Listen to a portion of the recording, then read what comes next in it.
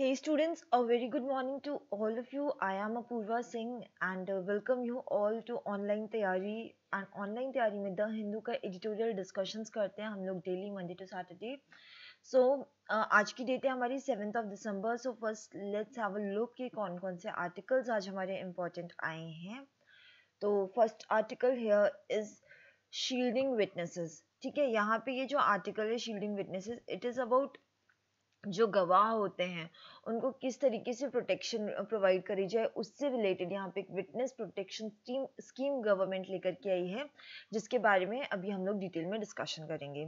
Next is still on the last chance conference of parties 24 कहाँ पर हो रही है, ये ज़रा मुझे जल्दी से कॉमेंट करके बताइए। C O P twenty four इसको मैं ऑलरेडी बता चुकी हूँ, फिर भी आप लोग बताइए ज़रा कि C O P twenty four conference of parties twenty four किस जगह पर हो रही है। ठीक, उसके बारे में यहाँ पे बात करी गई है क्लाइमेट डील क्लाइमेट अग्रीमेंट इन सब चीज़ों के बाद, जिसको हम लोग डिटेल में डिस्कस करेंगे। ये फ्रांस में जो भी चल रहा है, अभी रिवॉल्ट उससे रिलेटेड है, यहाँ पे इमरजेंसी क्यों लगने का, जो भी है तो उसके बारे में यहाँ पे फ्रांस से रिलेटेड है और ये एक यूनाइटेड स्टेट्स इंटरनेशनल रिलेशंस का ये टॉपिक है तो इसको डिस्कस नहीं करेंगे। फ्रांस का जो इशू है, इसको आई एम थिंकिंग कि एक अलग पूरे सेशन में कवर अप किया जाए, क्योंकि काफ़ी लाइक हाईलाइटेड है। तो इसको अलग से पढ़ेंगे। नेक्स्ट पेज पे यहाँ पे आर्टिकल है इस सोशल मीडिया पोलराइजिंग सोसाइटी ठीक, इस आर्टिकल में सोशल मीडिया लाइक जितना हम लोग एडिक्टेड हो गए हैं आजकल सोशल मीडिया के लिए फेसबुक पे हम लोग लाखों पोस्ट डेली हो रहे हैं, चालीस हज़ार के से करीब डेली जो पिक्चर्स हैं वो इंस्टाग्राम पे पोस्ट हो रही हैं, ठीक तो हम इन सब चीज़ों के एकदम हैबिचुअल हो गए हैं। चाहे वो आपका फेसबुक हो गया इंस्टाग्राम हो गया स्नैपचैट हो गया तो इन सब के हैबिचुअल हो गए हैं तो इसके बारे में यहाँ पे बात करी जा रही है कि क्या जो ये सारे सोशल मीडियाज हैं, ये हमारी सोसाइटी को पोलराइज कर रहे हैं, ठीक? क्योंकि अभी क्या है कि हम लोग सिर्फ़ देखते नहीं हैं, हम चीज़ों को क्रिएट भी करते हैं। हम चार, चालीस अगर दिन में पोस्ट हम इंस्टाग्राम पे स्क्रॉल कर रहे हैं तो उसमें से एक दो पोस्ट हम खुद भी डालते हैं, फेसबुक पे पोस्ट हम खुद भी डालते हैं। तो ये कहीं ना कहीं हम कंट्रीब्यूट कर रहे हैं सोसाइटी के डेवलपमेंट में, बीइंग में। डेवलपमेंट तो फ़िलहाल यहाँ पे वर्ड नहीं यूज़ करेंगे। तो इस चीज़ों को यहाँ पे लाइक एक डिस्कशन की तरह बताया गया है। इस आर्टिकल को खुद से पढ़िएगा तो आपको अच्छा लगेगा क्योंकि आप और हम सभी एटलीस्ट मैं भी सोशल मीडिया से बहुत ज़्यादा कनेक्टेड हूँ। ठीक है? तो हमको पता चलेगा क्या नेगेटिव्स हैं, क्या पॉजिटिव्स हैं इन सारी चीज़ों के। नेक्स्ट देखो यहाँ पे एक और फ़ूड फॉर थॉट ये इमेज दे रखी है। जरा इसको इमेज को हम लोग देखते हैं ध्यान ध्यान से। This image it is related to global nutrition report 2018 ना क्वेश्चन यहाँ पे मेरा ये है कि ये जो ग्लोबल न्यूट्रिशन रिपोर्ट है ग्लोबल न्यूट्रिशन रिपोर्ट ये किसके द्वारा रिलीज़ करी गई है? ये मुझे कमेंट करके बताना है आप लोगों को। आप लोग कमेंट करिए ग्लोबल न्यूट्रिशन रिपोर्ट 2018 किसके द्वारा रिलीज़ करी गई है? ठीक? अब इस रिपोर्ट में ये जो डेटा है ये क्या क्या बोलता है इसको ज़रा नज़र डाल लेते हैं। सबसे पहले यहाँ पे बात करी गई है कि इंडिया जो है highest number of stunted and wasted children in the world जो है लाइक like, जो स्टंटेड यहाँ पे दो टर्म्स यूज़ किए गए पहला हो गया स्टंटिंग एंड दूसरा हो गया वेस्टिंग ठीक है? स्टंटिंग का मतलब होता है वो बच्चे जिनकी एज के अकॉर्डिंग हाइट कम हो ठीक है? यानी कि ग्रोथ उनकी रुकी हुई हो। पाँच साल का बच्चा है, अगर उसकी एवरेज हाइट जो है वो दो fit for example this is not the standard of course ठीक है, दो फिट होनी चाहिए, उसकी हाइट पाँच साल के अकॉर्डिंग कम है तो वो हो गया स्टंटिंग ठीक है एंड वेस्टिंग हो गया, यानी कि वेस्टेड चिल्ड्रन जो हो गए, वो जिनकी हाइट भी कम है सॉरी वेस्टेड का मतलब ये हो गया कि जिनका वेट कम है लो वेट ठीक है इनकम फॉर द हाइट कि हाइट उनकी ज़्यादा है बट उसके अकॉर्डिंग उनका वेट कम है। तो ये दो तरीके हैं डिफरेंट डिफरेंट वर्ड्स हैं जिनको आप लोग याद कर लीजिएगा। ना इंडिया जो है वो होम है हाईएस्ट नंबर ऑफ़ स्टंटेड बच्चों का और वेस्टेड बच्चों का। ठीक है according to the global nutrition report districts in central and northern India have the highest number of stunted childrens जो आपके नॉर्थ के और सेंट्रल इंडिया uh, की जो डिस्ट्रिक्ट्स है वहाँ पे हमको सबसे ज़्यादा कुपोषित बच्चे अगर हम कहें तो देखने को मिलता है। स्टंटिंग हो गई माल न्यूट्रिशन हो गया। सो so, वहाँ के जो बच्चे हैं उनमें ग्रोथ से रिलेटेड बहुत ज़्यादा प्रॉब्लम्स हैं। ठीक है अब यहाँ पे जो डेटा दिया है इसके अकॉर्डिंग यूपी का जो सिटी है बहराइच जिसमें 65.1 परसेंट स्टंटेड चिल्ड्रंस हैं। ठीक है फिर उसके बाद में यूपी की ही डिस्ट्रिक्ट है श्रावस्ती जहाँ पर हमको सेकेंड हाईएस्ट नंबर पर स्टंटेड चिल्ड्रंस देखने को मिल रहे हैं। दैट इज़ 63.5 परसेंट फिर हो गया आपका यहाँ पे देखो झारखंड, जिसमें पश्चिमी सिंहभूम, यहाँ पे 59.4 परसेंट फिर आपका सेंट्रल इंडिया पे आ जाओ तो ये एमपी का अलीराजपुर, जहाँ पे 48.6 परसेंट स्टंटेड चिल्ड्रंस हैं, और फिर ये हमारा साउथ में आ गया कर्नाटका तो मैक्सिमम जो है वो हमको नॉर्थ इंडिया और ये सेंट्रल इंडिया यहाँ पर ही स्टंटेड चिल्ड्रंस देखने को मिलते हैं। ये डिस्ट्रिक्ट्स के नाम आप लोग याद रख सकते हैं, क्योंकि शायद अगर कभी ना कभी एग्ज़ाम में पूछा जा सकता है, भाई कौन सी डिस्ट्रिक्ट है यूपी के, खास करके यूपी के जो स्टेट एग्ज़ाम्स है यूपी वीडियो का भी एग्ज़ाम आ रहा है तो उन सब के लिए। ठीक है नाउ यहाँ पे बात करी गई कि चिल्ड्रन से यूपी के वो वर्स्ट अफेक्टेड हैं। Of the ten districts where stunting is the most prevalent six are in UP ठीक है, ऐसी दस डिस्ट्रिक्ट्स जहाँ पे स्टंटिंग बहुत ज़्यादा है। ठीक है लाइक स्टंटिंग है बच्चों में, उनकी जो विकास है उनका वो रुका हुआ है, उसमें से छह डिस्ट्रिक्ट जो हैं वो सिर्फ़ यूपी के हैं तो सिक्स आउट ऑफ़ टेन यानी कि दस डिस्ट्रिक्ट की अगर हम बात करें, जिलों की बात करें तो उसमें से छह जिलों जो हैं वो उत्तर प्रदेश के ही हैं, जहाँ पे बच्चों की जो विकास है वो रुका हुआ है। यहाँ पे ठीक है ये बात हो गई। Now the important is India lags behind in India two of five children are stunted which is far greater than the global average of 21 percent यहाँ पर तो हम सिर्फ़ इंडिया की बात कर रहे थे। अब इंडिया का वर्ल्ड लेवल पे क्या सिनारियो है वो देखें। तो हर दो में से पा, पाँच में से जो दो बच्चे हैं वो स्टंटेड हैं। और जो ग्लोबल एवरेज है 21 परसेंट का उससे बहुत ज़्यादा है ये। तो इंडिया को बहुत ज़्यादा सोचने की ज़रूरत है। ठीक? कंट्रीज़ जहाँ पे स्टंटिंग है तो इसमें देख लो, पाकिस्तान में सबसे ज़्यादा है वेस्टिंग जो है वो इंडिया में ज़्यादा है इन कंपैरिजन टू पाकिस्तान, ठीक। So I hope this is जो डेटा यहाँ पे दे रखा है वो आप लोगों को समझ में आ गया होगा। समझ में आ गया तो मुझे जल्दी से कमेंट करके बता दीजिए, समझ आ गया है। ठीक, आगे बढ़ते हैं नेक्स्ट आर्टिकल की तरफ़ India first witness protection programme ठीक। बात क्या करी गई है? देखो, सबसे पहले हम बात करते हैं जरा बैकग्राउंड की, आसाराम बापू का केस आप लोगों को पता है, ठीक है? वो क्या है? रेप के अगर हम बोले तो रेप के दोष में जो है, अंदर गए हुए हैं, जोधपुर की जेल में अभी सजा काट रहे हैं वो फ़िलहाल। तो इनके टाइम पर क्या होता था? जब इनके ट्रायल्स चल रहे थे तो विटनेसेस जो थे, जो भी विटनेसेस थे तो वो उनमें से अगर हम बात करें तो दस विटनेस के ऊपर अटैक हुआ है। और तीन विटनेस तो की तो जान ही चली गई है, ठीक है किल्ड हो गए हैं। तो उनमें से उसी टाइम पर जो है एक इशू निकल के आया जिसमें सुप्रीम कोर्ट जो है पीआईएल सुन रहा था पीआईएल में प्लीज़ सुन रहा था तो उसमें उन्होंने बोला कि विटनेस जो है उनको प्रोटेक्शन प्रोवाइड करना चाहिए। ठीक है? ये केस तब उभर के सामने आया जब वहाँ पे आसाराम बापू के केस में जो विटनेसेस हैं, उनकी जो दुर्दशा अगर हम बोलें राइट टर्म तो वो हो रही थी। ठीक है? तब उस टाइम पे केस निकल के आएगी। जो विटनेसेस हैं, जो गवाह हैं एक्चुअली उनको प्रोटेक्शन दी जानी चाहिए। तो उसी सीक्वेंस में यहाँ पे सुप्रीम कोर्ट ने विटनेस प्रोग्राम लॉन्च किया है और उन्होंने ये बोला है कि इमीडिएटली इफ़ेक्ट में आ जाना चाहिए। ठीक है? इस विटनेस प्रोग्राम में बेसिकली होगा क्या? सबसे पहले यहाँ पे जो, ठीक है, इसमें जो प्रोटेक्शन मेजर्स लिए जाएँगे विटनेसेस के लिए, उसमें टेम्परेरी रेजिडेंस दिया जाएगा।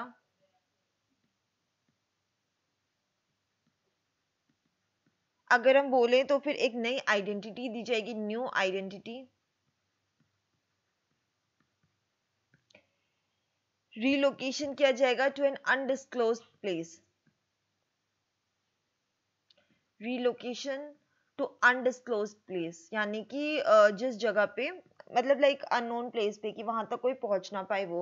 और क्या क्या प्रोटेक्शन मेजर्स लिए जाएँगे तो यहाँ पे ensuring the witness to accuse do not come face to face during investigation ठीक है, जो भी विटनेस है और जो अक्यूज पर्सन है, वो दोनों फेस टू फेस नहीं आए ड्यूरिंग इन्वेस्टिगेशन और trial mail and telephone calls को मॉनिटर किया जाएगा, विटनेस की चेंज विटनेस टेलीफोन नंबर और assign him an unlisted number. ठीक है, या तो विटनेस को नया टेलीफोन नंबर दिया जाएगा या फिर उसको एक अनलिस्टेड नंबर दिया जाएगा। सिक्योरिटी डिवाइसेस इंस्टॉल किए जाएँगे विटनेस के घर पे, जैसे कि सीसीटीवी कैमरास हो गया, सिक्योरिटी डोर्स, अलार्म्स एक्सेट्रा ठीक, आइडेंटिटी की हमने बात कर ली, close protection, regular patrolling around witness house and escort to to from court. ठीक है, अब जो पुलिस है वो उसको प्रोटेक्शन प्रोवाइड करेगी घर से लेकर के कोर्ट तक की। और ट्रायल्स के दौरान कैमरास होल्ड किए जाएँगे तो ये सारी जो है प्रोटेक्शन मेजर्स लिए जाएँगे विटनेस के लिए। ठीक दिस इज़ ऑल यहाँ तक क्लियर हो गया विटनेस स्कीम के बारे में प्रोटेक्शन स्कीम के बारे में। तो आगे बढ़ते हैं। यहाँ पे बात करी गई है कि जो गवर्नमेंट है, ठीक है, उसने पार्लियामेंट ने सुप्रीम कोर्ट को बोला है कि वो स्कीम फ्रेम करे और स्कीम फ्रेम करने के बाद में जो स्टेट्स हैं, वो उसको इमीडिएटली फॉलो करें। बट भाई प्रॉब्लम यहाँ पे क्या आती है? द प्रॉब्लम अराइजेज यार कि विटनेस को बेसिकली क्या होता है ना कि विटनेस जा रहा है कोर्ट तक, उसके बाद में उसको क्या बोल दिया जाता है कि आपको नेक्स्ट डेट दे दी जाती है कि कल आना या फिर नेक्स्ट आपको जो भी नेक्स्ट सुनवाई है वो तब होगी। तो इससे विटनेस का टाइम भी वेस्ट होता है और generally witnesses do not want to come in front ठीक है, सामने से आकर के वो गवाही नहीं देना चाहते अंटिल कोई बहुत ज़रूरी ना हो, उनका कोई पर्सनल केस ना हो, क्योंकि उनको लगता है उनका टाइम भी वेस्ट होगा कोर्ट के ट्रायल्स इतने स्पीडी नहीं होते हैं, सालों साल लग जाते हैं तो वो फंसे रह जाएँगे, प्लस उनकी जान की भी नुकसान हो सकता है। तो ये सारे जो थे इश्यूज़ थे प्रेजेंटली विटनेसेस के साथ में, ठीक है? उसके बाद में अब क्या है कि जो भी काम है बेसिकली ठीक है? कि बेसिक जो आपका फीचर्स हो गए कैमरा ट्रायल फ़िज़िकल प्रोटेक्शन वो सब चीज़ें अपनी जगह पर ठीक है but the main issue is अच्छा स्टूडेंट्स ये बताओ, यहाँ तक क्लियर हो गया विटनेस स्कीम के बारे में? ठीक है, तब फिर हम इसके प्रॉब्लम्स जो कि आपके जो भी आंसर राइटिंग होगी ना, उसके लिए इंपॉर्टेंट है ये पॉइंट्स वो यहाँ पे अभी हम लोग डिस्कस करते हैं। तो बेसिकली बात कर ली हमने स्कीम के बारे में what is the scheme and why it is important कि क्या थ्रेट हो सकता है विटनेसेस को? But the main testing is कि यहाँ पे विटनेस प्रोटेक्शन स्कीम में क्या दिक्कतें हैं, उसके लूप होल्स के बारे में अगर हम बात करें तो सबसे पहली बात की जो आइडेंटिटी प्रोटेक्शन है एडवांस फॉर्म का। ठीक है, वो किस तरीके से दिया जाएगा? विटनेस को नई आइडेंटिटी एड्रेस और इवन पेरेंटेज ये सब चीज़ें कैसे मिलेंगी उसके मैचिंग डॉक्यूमेंट से? और इन चीज़ों को प्रोवाइड कराना है without undermining their professional and property rights and educational qualifications यानी कि जो उसकी प्रोफेशनल क्वालिफिकेशंस हैं एजुकेशनल क्वालिफिकेशंस हैं, उन्हीं के सिमिलर आप आइडेंटिटी नहीं कैसे क्रिएट करेंगे? दैट इज़ क्वेश्चन ठीक है? पहला क्वेश्चन आपका ये अराइज हो गया, पहला लूपोल यहाँ पे ये है। नाउ अभी बेसिकली क्या है introduction of the scheme mark a leap forward until now there have been ad hoc step such is outline for concealing the identity witnesses in anti terrorism and child centric law अभी तक क्या था कि जो anti terrorism था या फिर child बच्चों से रिलेटेड जो थे, उसी में हम विटनेस को प्रोटेक्शन प्रोवाइड करते थे बट नाउ अब it is a step forward for that ठीक है? क्या है विटनेसेस के लिए फ्यू डेडिकेटेड लाइक जो वर्नरेबल विटनेसेस होते हैं, जो कि लाइक बहुत आपके संदिग्ध अगर हम बोलें केसेस के लिए तो उनके लिए अलग से कोर्ट रूम्स हैं, ठीक है? बट इन फैसिलिटीज़ को आगे एक्सपेंड करना, हर एक केस के लिए विटनेस प्रोटेक्शन प्रोग्राम लाना, ये सब जो है, ये अलग अलग तरीके के, चाहे तो आप बोलो मैनुअल तरीके से कि इतना आप मैन पावर कहाँ से लाओगे, इतने सारे विटनेसेस को प्रोटेक्ट करने के लिए। प्लस यहाँ पे क्या है फाइनेंशियल चैलेंजेस भी हैं कि इतना फाइनेंस क्या होगा, कैसे होगा। ठीक है ऑल ये जो स्कीम है, इसको फंड किया जाएगा by the budgetary support budgetary support के द्वारा इसको फंड किया जाएगा and plus by the from the state government and donations इनके थ्रू इसका बेसिकली इसकी फंडिंग होगी, ठीक है? Now this is all in this article अगर आर्टिकल समझ में आए तो मुझे जल्दी से बता दो कमेंट करके कि मैम समझ में आ गया है। आगे बढ़े, फिर हम लोग नेक्स्ट आर्टिकल की तरफ़, जो कि क्लाइमेट चेंज से रिलेटेड बहुत ही इंपॉर्टेंट आर्टिकल है। ठीक? चलो नाउ यहाँ पे ठीक है, चलो वेरी नाइस स्टूडेंट्स अगर आप लोगों को समझ में आ गया है तो next article is still on the last chance saloon ठीक है, अब यहाँ पे हम लोग बात करें कॉन्फ्रेंस ऑफ़ पार्टीज़ 24 की, जो कि कैटोविस में हो रही है कैटोविस पोलैंड में, ठीक? क्वेश्चन यही था आप लोगों का तो कैटोविस पोलैंड में ये कॉन्फ्रेंस ऑफ़ पार्टी की मीटिंग हो रही है।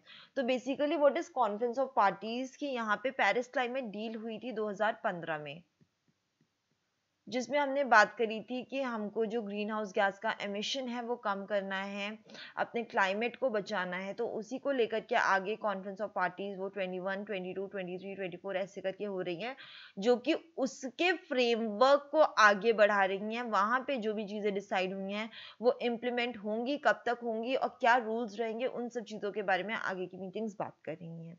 ठीक है ये जो कॉन्फ्रेंस ऑफ़ पार्टीज़ है ये कंडक्ट कराई जाती है यूएनएफ ट्रिपल सी के द्वारा United Nations climate change conference okay Now coming to the article, the world is in deep trouble. Average global temperature has crossed degree Celsius above pre-industrial level. Like जो मैंने आप लोगों को ये चीज़ पहले भी स्टूडेंट्स एक्सप्लेन करी थी कि जो इंडस्ट्रियल रिवोल्यूशन था हमारा ठीक, उससे पहले टेम्परेचर काफ़ी कम था नॉमिनल होता था बट जब से इंडस्ट्रीज़ बढ़ गई हैं तो इंडस्ट्रीज़ के बढ़ने से क्या हुआ है कि हमारे टेम्परेचर पे भी काफ़ी ज़्यादा इम्पैक्ट पड़ा है। तो इसलिए हम लोग हमेशा ये बोलते हैं कि प्री इंडस्ट्रियल लेवल से टेम्परेचर बढ़ गया, यानी कि इंडस्ट्रियल इंडस्ट्रीज़ के बूस्टअप से पहले का जो टेम्परेचर है, उसके कंपेरिजन में हम लोग देखते हैं। तो टेम्परेचर एक डिग्री तक बढ़ गया है। प्लस उसके साथ में जो कंसंट्रेशन था कार्बन डाइऑक्साइड का एटमॉस्फेयर में, वो भी 410 पार्ट्स पर मिलियन हो गया है, जो कि बहुत ज़्यादा नुकसानदेह है। ठीक है, और इतना कभी भी ह्यूमंस ने नहीं देखा है। टेम्परेचर बढ़ने का स्टूडेंट्स नुकसान क्या है कि लाइक वन डिग्री अगर टेम्परेचर बढ़ गया तो it is nominal for you and me कि आज तो दिल्ली का टेम्परेचर 23 है, कल 24 हो गया। बट यहाँ पे बात कर हम ग्लोबल टेम्परेचर की, ठीक है? क्योंकि हमारी बहुत सारे जैसे कि जो हमारे आइसबर्ग्स हो गए या जितने भी आपका कोल्ड एरियाज़ हो गए स्पेशली जैसे कि हम आईसी एरियाज़ की बात करें ग्लेशियर्स तो वहाँ से हमारा फ्रेश वाटर का रिसोर्स है।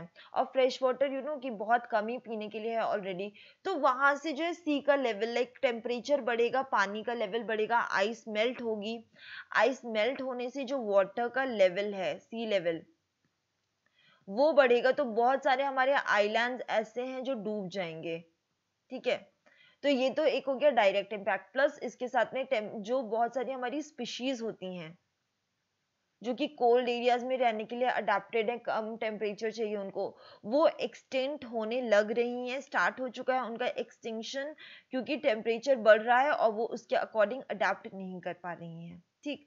प्लस आपका टेम्परेचर बढ़ेगा तो आप देख सकते हो कि क्या क्या नेगेटिव्स हो रहे हैं उसके, कि टेम्परेचर बढ़ने से आप ये जैसे केरला में जो डिजास्टर आया, ठीक है साइक्लोन्स आ रहे हैं साइक्लोन गाजा ये सब क्लाइमेट चेंज के ही इम्पैक्ट है। हमारी गर्मियाँ आ रही हैं तो गर्मियाँ भी एक्सट्रीम हो रही हैं टेम्परेचर डे बाई डे बढ़ता जा रहा है। हर सीज़न में अगर हम देखें ना कि लाइक 2015 में जो है, अगर हम बोलें कि एवरेज 40 डिग्रीज रहा है 42 हो गया 2017 में। तो ऐसे करके टेम्परेचर बढ़ता जा रहा है। तो these all are the negatives of climate change जिन पे हमको फोकस करने की ज़रूरत है। ठीक? क्लियर हो गया यहाँ तक? तो मुझे जल्दी से बताओ क्लियर हो गया है।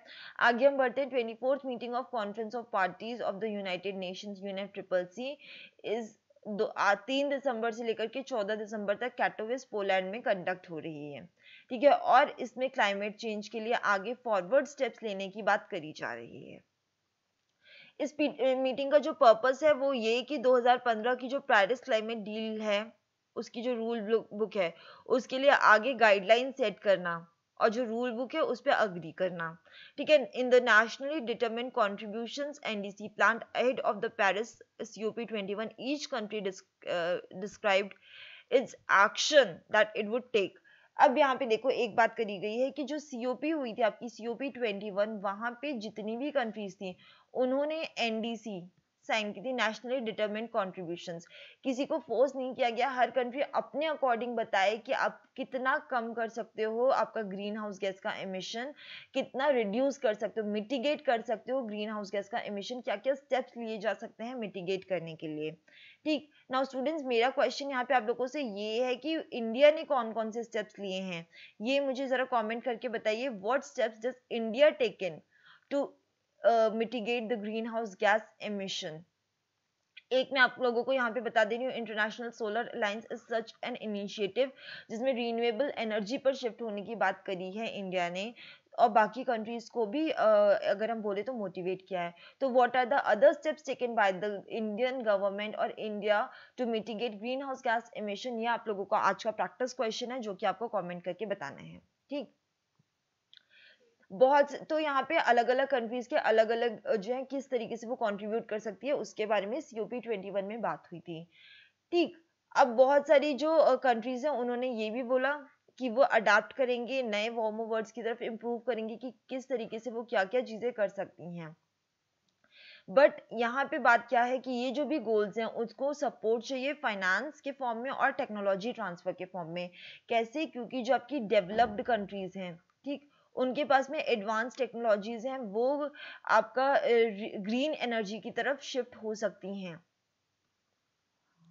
बट जो आपकी डेवलपिंग कंट्रीज़ हैं, वो कैसे शिफ्ट होंगी? क्योंकि उनका तो अभी ही वो डेवलपिंग फ़ेज़ में है। अगर आप अभी ही बोलो उनको कि ग्रीन एनर्जी की तरफ़ शिफ्ट हो जाओ, आप नए मशीनरीज लेकर के आओ जो कि कम पोल्यूटिंग हो तो उनके पास तो ऑलरेडी फंड्स की कमी है ऑलरेडी टेक्नोलॉजी की कमी है। तो ये उन लोगों के साथ में ज्यादती होगी जो आपकी डेवलपिंग कंट्रीज़ है इमर्जिंग डेवलप इकोनॉमीज है उनके साथ में, ठीक है? नाउ यहाँ पे पेरिस डील में यही 1.5 डिग्रीज तक कंट्रोल करने की बात करी गई थी और जिसका हमको नेगेटिव इम्पैक्ट ऑलरेडी आइलैंड जो नेशंस हैं छोटे छोटे उन पर हमको देखने को मिल रहा है, जिसके बारे में ऑलरेडी मैं डिस्कस कर चुकी हूँ। ठीक है? नाउ जो ये करंट कॉन्फ्रेंस है हमारी कैटोविस की, ये आई है एक स्पेशल टाइम पर जिसमें आईपीसीसी ने International Intergovernmental Panel on Climate Change IPCC ने 1.5 डिग्री रिपोर्ट रिलीज़ करी है, जिसके अकॉर्डिंग अभी हमको बहुत ज़्यादा काम करना है कि 1.5 डिग्रीज अगर हमको रखना है टेम्परेचर तो उसके लिए हमको बहुत ज़्यादा speedy recovery speedy transformative changes की ज़रूरत है, क्योंकि अभी जो जो हम काम कर रहे हैं दे आर नॉट सफिशियंट कि हम क्लाइमेट चेंज को कंट्रोल कर पाएँ। जो ग्लोबल वार्मिंग हो रही है ग्लोबल टेम्परेचर बढ़ रहा है, उसको कंट्रोल कर पाएँ। ठीक now the implementation of Paris agreement will begin in 2020 2020 में ये फॉर्मली होगा। यहाँ पे बात वही करी गई है। सेकेंड पैराग्राफ स्टूडेंट्स आप बोलोगे कि मैम आपने मिस कर दिया बट दैट इसमें यही बात करी गई है कि जो रिच नेशंस है, वो, उनका ऑक्यूपेशन अलग है। ठीक है? लाइक उनके पास में टेक्नोलॉजीज़ एडवांस है बट जो हमारी पुअर नेशन है ना, उनके लिए जगह कम है कि वो किस तरीके से लेट कमर्स हैं वो टेक्नोलॉजी के फॉर्म में। और फिर भी आप उनसे बोलो कि आपको और एडवांस तरीके से काम करना है तो that is not the thing जो पेरिस अग्रीमेंट है, वो 2020 में होगा और 2030 मतलब लाइक जो भी आपको, आपके एफर्ट्स हैं कि आपको क्या क्या चीज़ें करनी है ग्रीन हाउस गैस एमिशन को कम करने के लिए, वो 2020 में होगा। अभी सिर्फ़ उसकी रूल बुक तैयार हो रही है कि क्या क्या काम करने हैं आपको। ठीक है, अभी करंटली ये कौन सी पीरियड में है? तो दोहा अमेंडमेंट पीरियड में है and second phase of Kyoto protocol की। इसमें अभी रेटिफिकेशन भी नहीं हुआ है रेटिफिकेशन की बात चल रही है, जो भी रूल्स डिसाइड हुए हैं। ठीक है एंड यहाँ पे देखो लास्ट में ऑथर ये बोलते हैं कि भाई जो यूएस है यू you नो know कि वो यूएस ने अभी कौन कौन सी डील से अपना नाम विड्रॉ किया था? ईरान न्यूक्लियर डील भी हो, गई। ठीक है फिर उसी के टाइम पर ही उसने बोला पेरिस क्लाइमेट डील से भी वो विड्रॉ करेगा क्योंकि उसकी हमेशा से यूएस की जो डोनाल्ड ट्रंप है इनकी पॉलिसी रही है अमेरिका फ़र्स्ट ठीक तो उनके अकॉर्डिंग कि वहाँ पे जो है like Paris climate deal is नहीं उनके भाई क्या बोलेंगे उनको कि उनके भावनाओं पे खरी उतर रही है।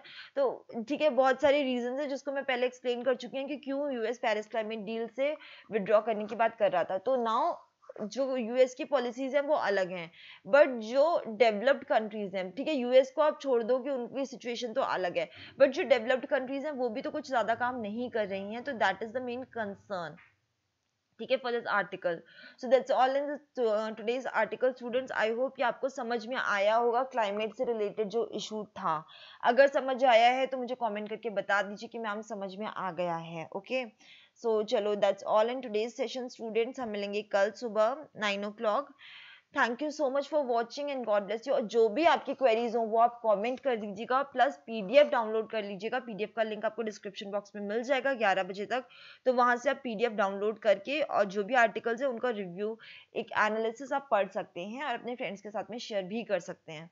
Keep learning like this students and please don't forget to hit the like button जितने लोग डिसलाइक करते हैं, उनसे रिक्वेस्ट है कि आप मुझे ज़रा डिसलाइक का रीज़न कमेंट में बस लिख दीजिए एक लाइन में कि मैम क्यों नहीं पसंद आया। और अगर लाइक कर रहे हैं तो फिर लाइक का भी आज एक रीज़न बता दीजिए कि क्यों ये एडिटोरियल का जो सेशन है, वो आपके लिए बेनिफिशियल है। ठीक है? And don't forget to hit the subscribe button on our channel so that आपको डेली नोटिफिकेशन मिलते रहें। Thank you so much for watching